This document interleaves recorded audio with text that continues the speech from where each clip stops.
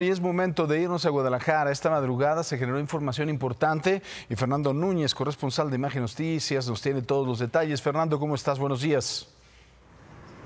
¿Qué tal Paco? Muy buenos días, te saludo desde Guadalajara con información relevante que se ha registrado durante las últimas horas. Te cuento, un conductor de vehículo de plataforma perdió la vida tras una agresión directa de arma de fuego. Cabe destacar que este violento crimen se registra a tan solo tres días de que otro conductor muriera en circunstancias bastante eh, similares en la misma colonia del municipio de San Pedro Tlaquepaque.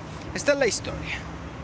A pesar de los intentos por salvarle la vida, un conductor de plataforma murió en un puesto de socorro tras haber sido atacado a balazos en repetidas ocasiones en las inmediaciones de la colonia Arroyo de las Flores, en San Pedro, Tlaquepaque.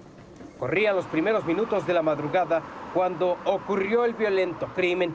El chofer del vehículo, en un intento desesperado por buscar ayuda, llamó a su esposa para contarle lo que había ocurrido mientras conducía lesionado hasta una gasolinera ubicada sobre Anillo Periférico y Avenida de la Cantera en la colonia Jardines Santa María, donde solicitó ayuda.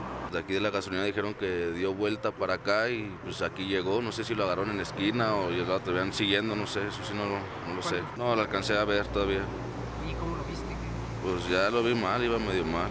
De manera preliminar, trascendió que la víctima presentaba tres impactos de bala, uno de ellos en el rostro, uno más en el cuello y uno en el tórax. Agentes ministeriales se hicieron presentes para llevar a cabo las investigaciones correspondientes que permitan esclarecer cómo habrían ocurrido los hechos.